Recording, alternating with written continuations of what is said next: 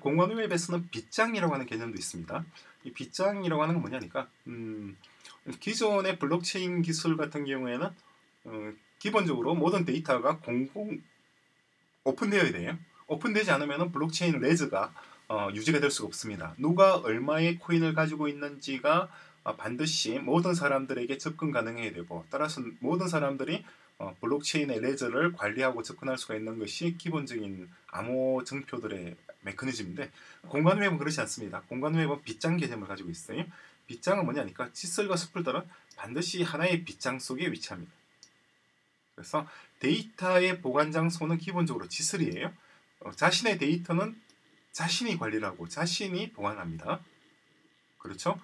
그런데 수프를 이용해서 어느 한 칫솔이 저장하는 데이터가 참인지 거짓인지 그 데이터를 보지 않고서도 알 수가 있어요. 그게 공간 웹의 빗장 알고리즘이에요. 그래서 음, 선택적으로 물론 칫솔 데이터를 수풀에 백업할 수는 있습니다만 기본적으로 내 데이터는 내가 가지는 거예요. 그래서 그리고 어느 한 수풀은 자신을 고향으로 하는 칫솔의 데이터만 생성, 수정, 갱신할 수가 있는 거예요. 그죠? 그런데 어, 이게 상당히 재밌는 표현입니다. 방금 보면은 칫솔은 반드시 자기의 데이터를 자기가 만들어서 자기가 관리한다 그러잖아요. 그런데 수풀 또한 어떤 칫솔의 데이터의 생성과 수정, 갱신에 접근할 수 있도록 돼 있어요. 서로 모순되는 거죠. 그죠? 이 모순되는 것을 처리하는 방식이 바로 암호화 메커니즘입니다.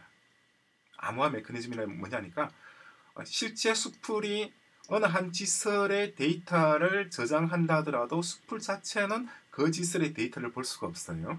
그 데이터를 보고 어떻게 하는 것은 지설 자신입니다. 단지 수풀은 이 지설에 기록하는 데이터가 참인지 거짓인지 검증할 수 있는 방법이 있습니다. 그러한 검증할 수 있는 방법을 제시하는 것이 바로 빗장 메커니즘입니다. 좀 정리가 되나요?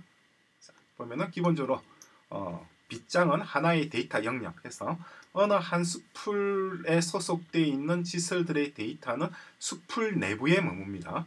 그렇죠? 한, 저는 제주시에 있고 어, 여러분들은 어디 저기 뭐 어디 광주광역시에 있다.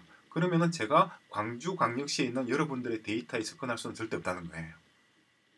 그죠? 왜냐하니까 서로 영역이 다르단 말이죠. 영역이 다를 뿐만 아니라 제주시와 광주광역시에서도 제주 어, 광주광역시를 관할하는 수풀이 광주광역시에 있는 지설들의 데이터를 들여다볼 수는 없어요. 없습니다. 어, 그런데 광주광역시를 관할하는 수풀들이 광주광역시에 있는 지설들의 데이터를 저장하고 쓰고 수정하고 갱신할 수는 있단 말이에요. 그죠? 두 개가 모순되는 것 같죠? 모순되는 것 같지만 모순되진 않습니다. 왜냐하니까 암호키를 이용해서 private key와 public key를 이용해서 어느 한 수풀에 저장되어진 어느 한 지슬의 데이터는 그 지슬만 접근하고 수정하고 갱신하는 거예요. 수풀을 통해서 하지만은 그러한 수정과 갱신의 주체는 그 데이터의 생산자인 지슬 본인이라는 거죠. 이해되시죠? 그리고 어느 한 수풀에 소속된 지슬들의 데이터는 그 지슬을 벗어나지 않, 그 수풀을 벗어나지 않습니다. 그 수풀 내부에서만 머물고 그 수풀은 자신이 관할하는 지슬들의 데이터가 참인지 거짓인지만 판명하는 별도의 메커니즘을 운영합니다. 그게 무엇인지에 대해서 다음 에피소드에 다시 보도록 하겠습니다.